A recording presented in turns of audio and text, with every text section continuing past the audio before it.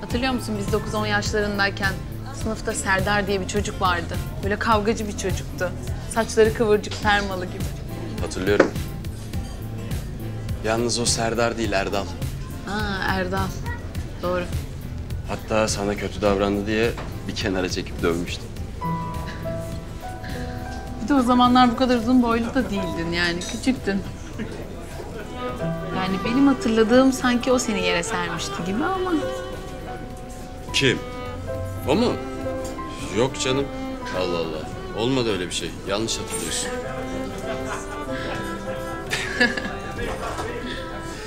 Doğru. O beni yere serdi diye Murat da gelip onu dövmüştü. o zamanlar bana tek göz kulak olanın Murat olduğunu sanıyordum. Şimdi düşününce aslında sen her zaman benim yanımdaydın. Murat gücünün yettiği yerlerde bana yardım ediyordu. Ama sen gücün yetmese bile hiç elimi bırakmadın. Hep yanımdaydın. Ben senin kıymetini bilemedim. Bu kadar sabırlı olduğun için sana teşekkür ederim. Can.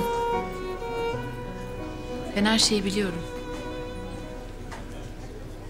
Neyi biliyorsun ki Elif? Ayşegül'le evliliğinin sahte olduğunu biliyorum.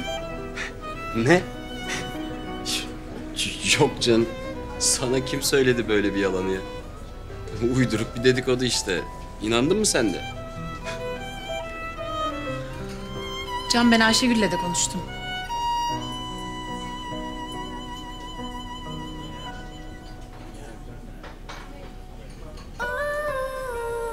Can eğer bu evlilik gerçek değilse... Ben artık seninle olmak istiyorum.